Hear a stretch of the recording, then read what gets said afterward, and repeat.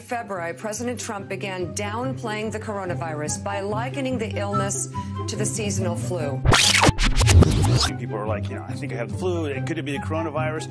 Overall, most people should not be terribly concerned about it. You definitely want to pay attention. Should they panic? No, Americans do not need to panic. What I would suggest, however, mm. is that Americans take this as a wake up call for seasonal flu. Flu is a much bigger deal. There's an important context we need to keep this in, and that is that the flu is more deadly. Maybe this is a good opportunity to remind people of that. Such a good reminder. And while there's a lot of fear over this coronavirus, you know, the flu is already widespread in the U.S., and, and it really is much more deadly, is it not? Coronavirus is not going to cause a major issue in the United States. We're going to have 40 to 60,000 deaths this year in the United States from the influenza, and it's preventable. And there are only 12 confirmed cases of coronavirus here in the state. The risk is low. The risk, however, for the flu is through the roof. Health warning from doctors, why they say people should be more worried about the flu than the coronavirus. Half the people in America do not get a flu shot, and the flu right now is far deadlier. So if you're freaked out at all about the coronavirus, you should be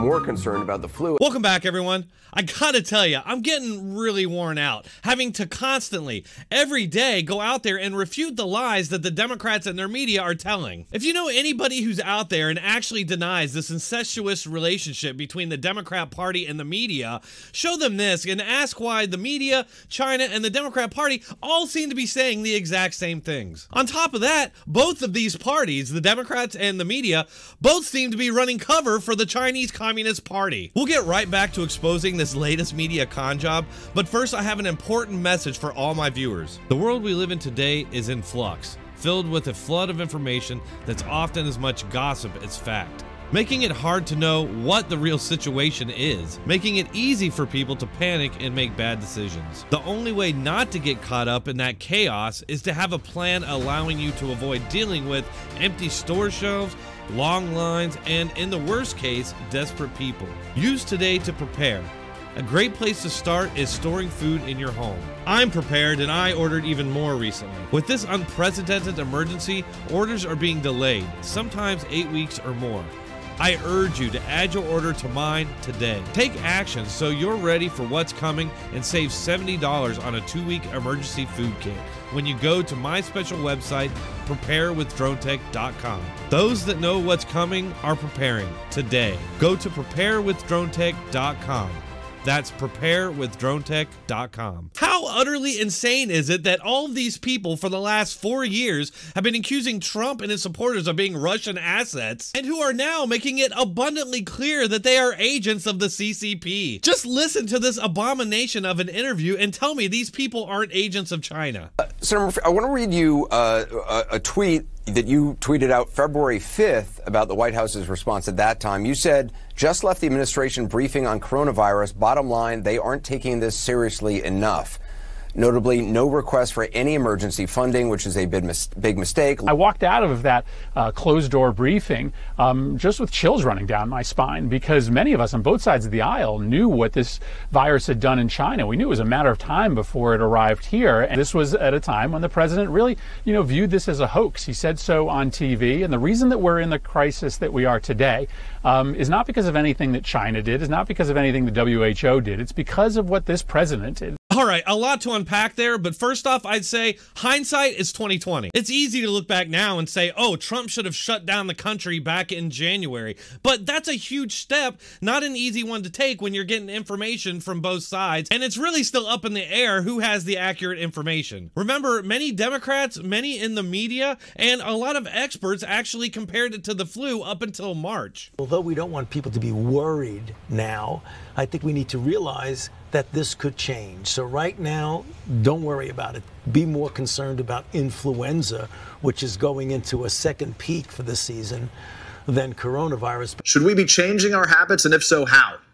No, right now, at this moment, there is no need to change anything that you're doing on a day by day basis. There you have it from the experts up until the end of February. Donald Trump didn't shut down the country because he was being advised by his experts that there was no need for that. In fact, both Anderson Cooper and Sanjay Gupta were still comparing coronavirus to the flu up until the end of February. Half the people in America do not get a flu shot, and the flu right now is far deadlier. So if you're freaked out at all about the coronavirus, you should be more concerned about the flu. So when the media and the Democrats put forward this narrative, it's completely dishonest. And you'll notice that they never, ever, ever show these clips. And also, Dr. Fauci smacked down any attempts to say that if we had shut down the country earlier, it would have saved lives. There's no way of knowing that. And neither Anderson Cooper or uh, Senator Chris Murphy has any idea. Sanjay Gupta said that's this is all because we got started too late in the U.S.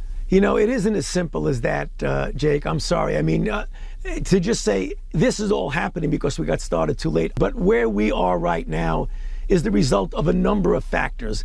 The size of the country, the heterogeneity of the country. It's I think it's a little bit unfair to compare us to South Korea. Also, he never called the coronavirus a hoax. That's a media created lie that was served up for the Democrats to then go into the media and tell that lie over and over. As we all know by now, Trump wasn't calling the virus a hoax, he was calling the media and Democrats' attempts to politicize it a hoax. This all occurred during a rally where he was giving a speech about his plans to deal with the coronavirus outbreak. I know earlier you had said that there there was a very coordinated effort amongst the White House and their allies to try and find scapegoats for the fatal mistakes that the president made during the early stages of the virus.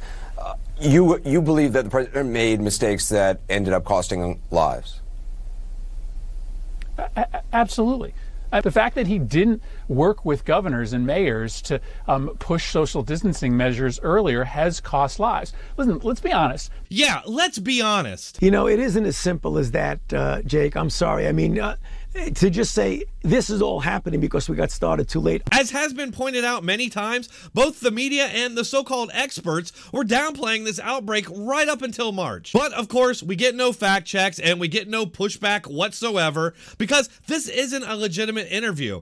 It's a propaganda session between a political party operative and a politician from that political party. The reason that we're in the crisis that we are today um, is not because of anything that China did, is not because of anything the WHO did. It's because of what this president did. God, this all started in China. In fact, to be more specific, it started in Wuhan, where, by the way, they have a biolab that just happened to be experimenting with coronavirus. The World Health Organization then told the world not to worry about it because China said there had been no human to human transmission. Then we find out that the World Health Organization has a lot of shady business dealings with China. Shady business dealings that even CNN reported on at one point. But now they pretend like it never happened. If you have any doubt that China has these media organizations and the Democrat Party balls in a vice, check out this story from NPR that just broke. Apparently, Bloomberg News killed some anti China stories because they were worried about losing their business, even admitting that the Chinese government were Nazis. From the NPR article. Winkler suggested reporters could find a uniquely Bloomberg way to cover the wealth of Chinese ruling elites, but he added a caution about covering the regime. It has to be done with a strategic framework and a tactical method that is smart enough to allow us to continue and not run afoul of the Nazis who are in front of us and behind us everywhere. So they know China's evil and they know China's our enemy, and yet they choose to side with China so that they can make more money. Which just proves that they have no problems throwing out any supposed journalistic integrity. That's all for this episode, just a short one today. Please hit that like button, share, and subscribe.